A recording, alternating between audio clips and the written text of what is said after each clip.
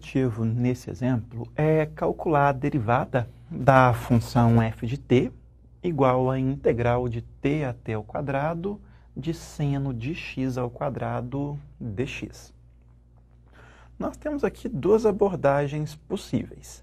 A primeira delas seria determinar explicitamente qual a função f de t, calculando primeiro a integral indefinida ou uma primitiva de seno de x ao quadrado e depois substituir o extremo superior menos o extremo inferior, uma vez que essa função ela é contínua em toda a reta. O problema dessa abordagem é que nós precisamos calcular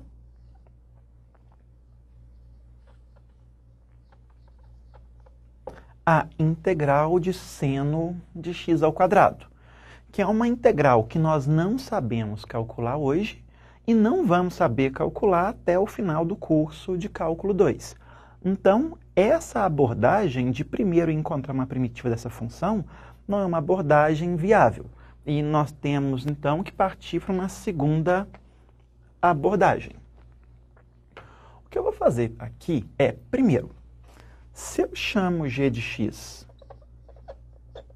de seno de x ao quadrado,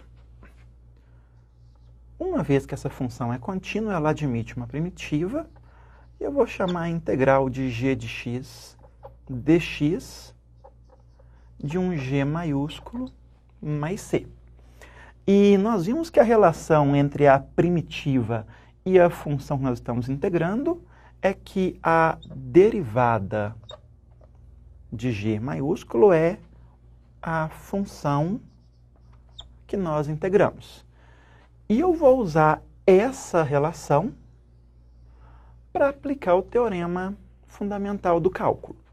O que é o f de t? É a integral de t até o quadrado de g de x dx, que é g de x de x igual a t, que é g de t ao quadrado menos g de t. Observa que aqui eu não conheço a função g de x e nem vou precisar conhecer a função, porque agora, quando eu calculo a derivada de f, basta derivar essa diferença. E eu vou usar nos dois termos a regra da cadeia. A derivada de g de t ao quadrado, pela regra da cadeia, é a derivada de t ao quadrado, que é 2t, vezes a derivada de g calculada em t ao quadrado. E a derivada de g de t é a derivada de t, que é 1, g' de t.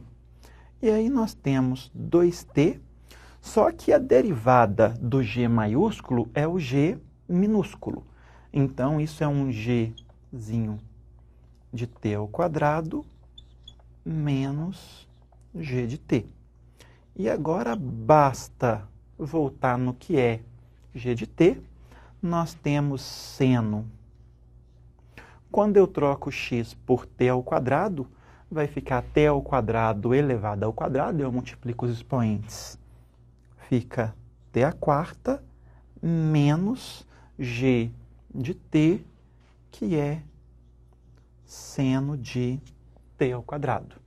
Então, nós concluímos com isso que se essa é a nossa função f de t, a derivada é 2t seno de t a quarta menos seno de t ao